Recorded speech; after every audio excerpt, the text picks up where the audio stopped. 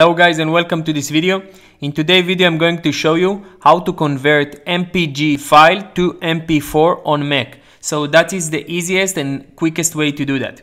You go to onlineconvert.com. This is a free online file converter website and I will leave a link to that website under this video.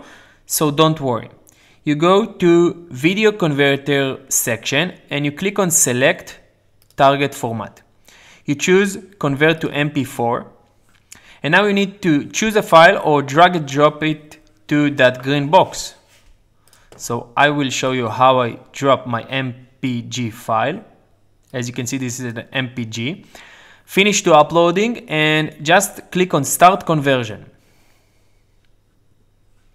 After a couple of seconds my MP4 file will be ready to download. I just need to uh, name it and that is it my friend. That's how you convert mpg file to mp4 on mac. As you can see this is now an mp4 so if uh, that video helps you and save you some time please smash that like button subscribe to the channel for support.